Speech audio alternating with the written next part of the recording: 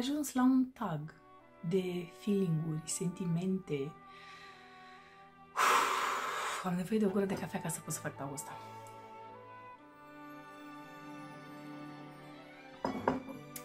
Da.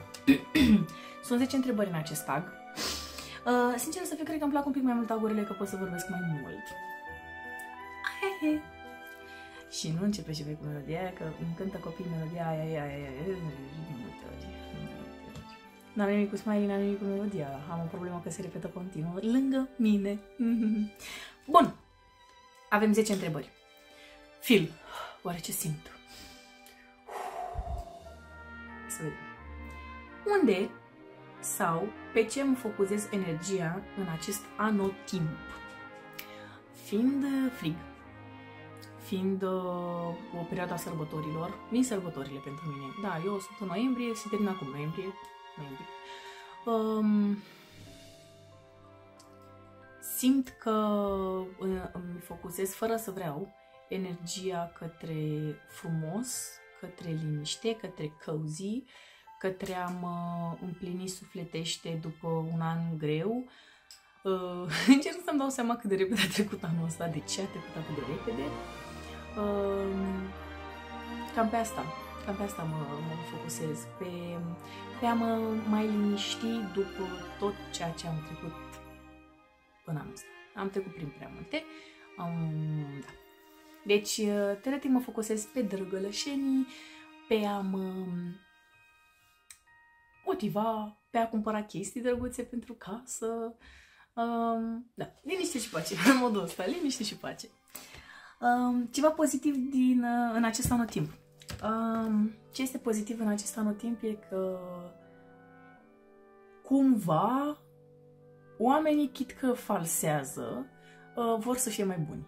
Chit că se vede că falsează, dar vor să fie mai buni. Măcar acum.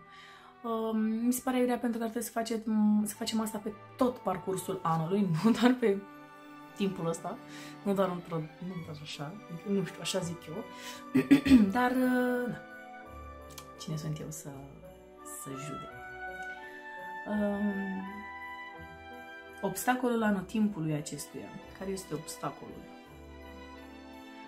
Faptul că mă lovesc în continuare de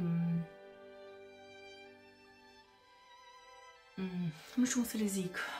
Nu știu cum să, nu știu cum să mă exprim, de fapt.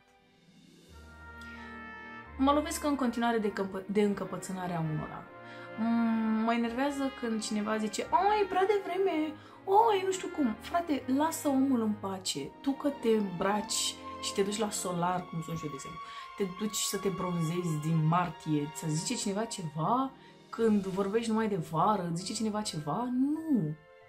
Mă supără când oamenii în continuu uh, se iau de cei cărora le place Crăciunul și vor să se ducă în atmosfera asta mult mai din timp. De ce? Pentru că Crăciunul durează câteva zile.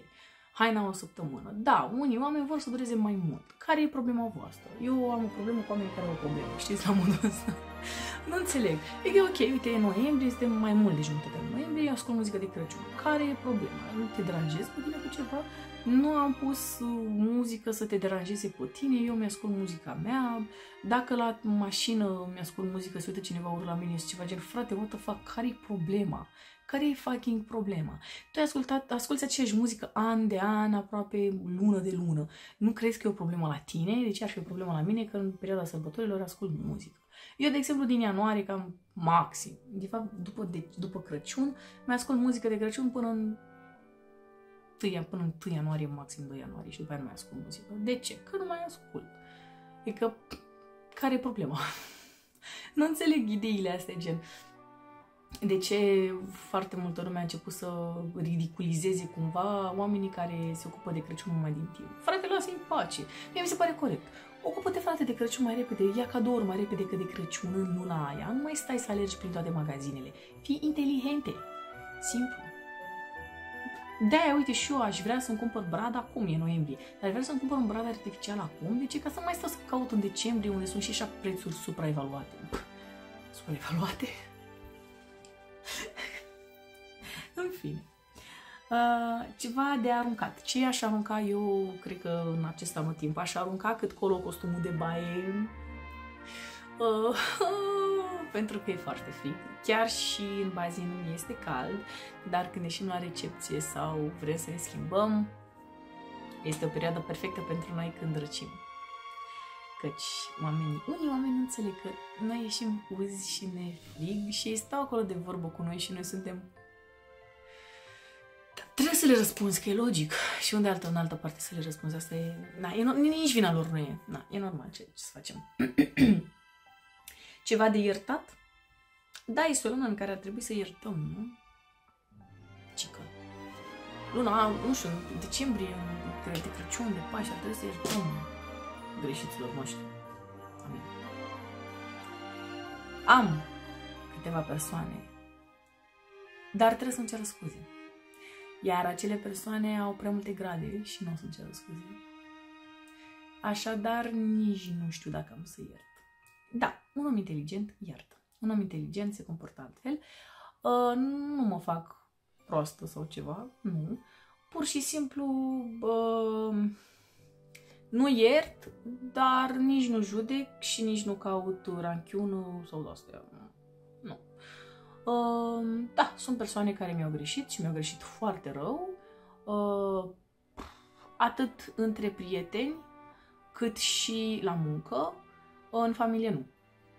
Um, și dacă ar zice, bă, mi-am dat seama că am greșit. Nici nu, nu am, nu am nevoie să-mi ceară scuze. Să-mi zică, bă, da, mi-am dat seama că am greșit cu ceva. Și el zice, nicio problemă. Atât. Dacă eu zic nu e nicio problemă, credeți-mă că s-a șters cu buretele. Atât de fraieră sunt. Și credeți-mă că unii dintre ei au greșit foarte rău. La modul rău. La modul atât de rău încât de supărare mi s-a afectat sănătatea. Dar um, v-am zis, unii oameni nu vor să recunoască chestiile astea. Asta e tem. Eu nu știu dacă am greșit. Îl mai enervez pe la urmă. e în atribuția mea să fac asta. Um, dar nu știu dacă am supărat pe cineva, mă gândesc, chiar mă gândesc. Faptul că am avut puțin mai multă grijă de mine și am refuzat frumos anumite lucruri, nu cred că a trebuit să supere pe cineva. Adică dacă cineva mi-a zis uh, uh, stai încă șapte ore la muncă că nu știu ce și am zis, bă, uite, nu mă simt bine, trebuie să plec, mi-am făcut orele, gata. Um, eram pe dexametazon, eram, era rău, adică trebuie să am și grijă de sănătatea mea. Deci dacă am supărat pe motivul ăsta, pare rău. Pare rău, dar nu pare rău. Așa. Uh, ceva, de, uh, ceva ce îmi doresc. Uh, ce-mi doresc eu... Uh, nu vorbesc de cadouri acum de Crăciun. Nu vorbesc de alte chestii, să vedem. Hom, hom, hom, hom, hom. Oare ce-mi doresc eu?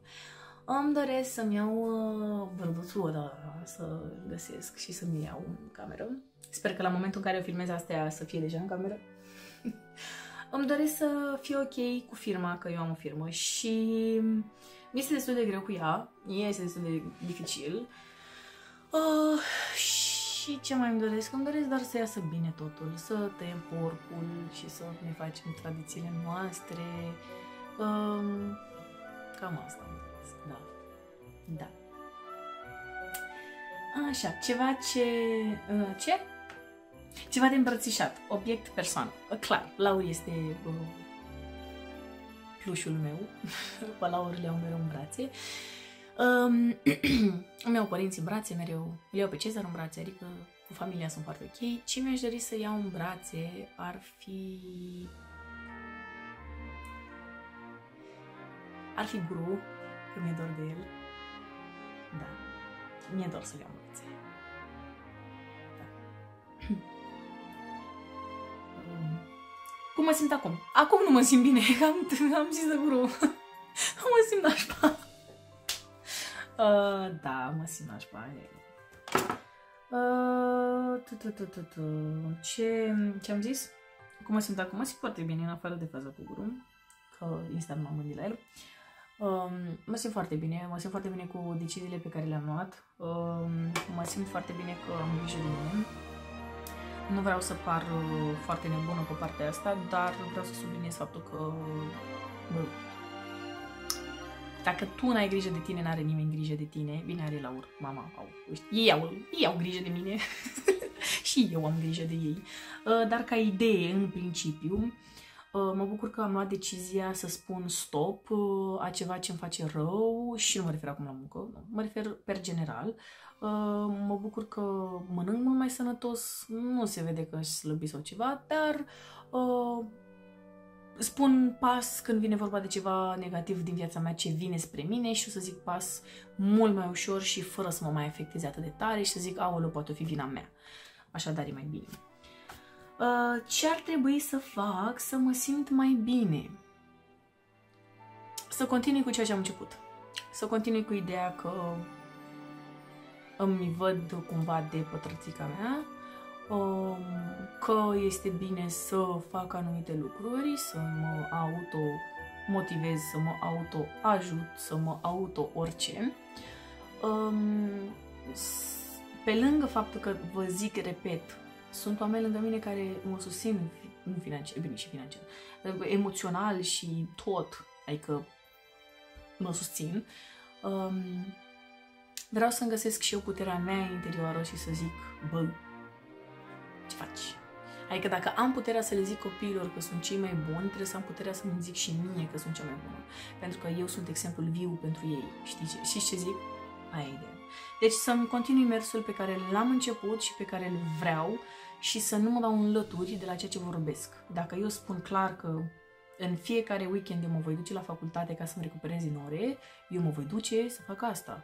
Um, trebuie să mă mobilizez. Și sunt deja pe, pe o dungă bună, vreau să-mi păstrez dungulița. Știți ce zic? Vreau să păstrez dunguța. Da. Uh, ce sfat mi-aș da? Cred că tocmai ce am zis, să-mi păstrez dunguța. Să păstrez cărăria. Că cărăria? Am zis cărăria? Wow! Prea multe clipuri filmate azi! Prea multe clipuri filmate azi! Uh, 12 clipuri am filmat azi și ăsta e ultimul. Um, să-mi urmez cărarea.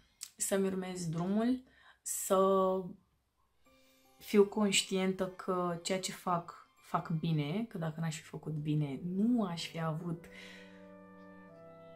atâtea, uh, nu aș fi fost căutată și trebuie să recunosc faptul că, băi, sunt ok. Nu este bine în momentul în care cineva vrea să te facă să crezi că nu ești destul de bun. Ești destul de bun, ești o persoană bună, trebuie să te gândești la treaba asta. Gândește-te că sunt alții care n-au făcut nimic față din ceea ce ai făcut tu ca om.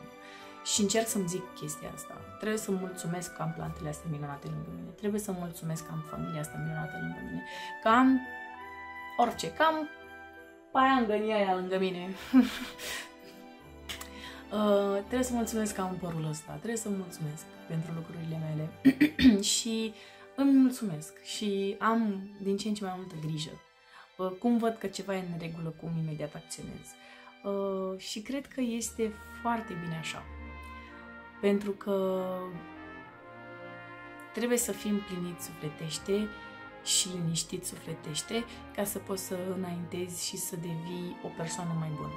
Sunt conștientă că am puncte minus, uh, dar sunt și mai conștientă că punctele alea minus se datorează faptului că vreau din ce în ce mai mult și vreau să fiu din ce în ce mai puternică.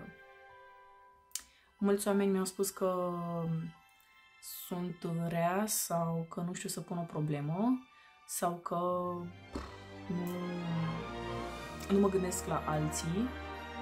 Problema, știți care a fost? că m-am gândit prea mult la alții și uh, am fost atât de bună încât uh, și-au permis să-mi spună că nu, nu gestionez ok o situație. Uh, nu știu dacă nu am gestionat, o să vă dau și exemplul, nu știu dacă am gestionat greșit situația spunându-i unui copil să nu pună piedică sau să nu se comporte urât cu o persoană mult mai mare ca el, ca el ca și copil, uh, având în vedere că cineva mai sus spus mi-a zis, mi-a zis că să-l pedepsesc sau să-l ignor. Nu cred că este... Nu cred că era o variantă plauzibilă pentru mine să ignor, pentru că dacă ignoram, piedica s-ar fi produs, accidentul s-ar fi, s-ar fi produs um, și poate era mai bine așa, că dacă s-ar fi produs accidentul, persoana respectivă s-ar fi accidentat, copilul ar fi fost pedepsit de către altcineva mult mai dur. Da. Um, ăsta e un exemplu infim. Sunt mult mai multe exemple și o să fac niște story time-uri. Ar fi de să încep și niște story time pentru clipurile astea de Crăciun, nu? da. Um, da, cam asta e ideea. Cam asta e ideea. Gândiți-vă că um, am încercat și vedeți voi că sunt așa o persoană foarte rea. Um, dar um, sfatul meu pentru mine este să nu mai dau crezare lucrurilor false care mi se spun doar ca să poată să manipuleze cineva pe altcineva. Adică dacă eu vin la tine și zic că uite, știi, uite, n-ai făcut chiar așa, asta e o manipulare. De multe ori așa mi se pare. Adică, dacă ți se pare că era ceva greșit, de ce n-ai acționat și tu? De ce n-ai venit să hai să rezolvăm împreună? Ai lăsat să se dea cineva cu capul de pământ? Sau te duce să-i zici, băi, hai să facem altfel, hai să ne dăm cu capul împreună de un burete? Adică eu așa o gândesc. De ce te-aș lăsa pe tine să dai cu capul de perete când mai bine dăm cu capul de un burete împreună? Ca să nu te las la greu. Știți ce zic? Și uite că... M- diferența de nivel. Știți? Bum, bum, bum, bum, bum. Cam asta e ideea. Bun, cam atât am avut de spus. V-am pupat. Vă mulțumesc că ați urmărit și acest clip. Pe ziua de astăzi am terminat. Poate o serie următoare de clipuri va fi cu story time și ar fi foarte interesant. Și poate pot să fac o, o atmosferă așa mai căuzi, poate aș filma din pat, să vedem cum facem. Ar fi foarte drăguț, dar nu prea mă mințe, Vedem. nu promit nimic. V-am pupat. Pentru voi, sărbători fericite.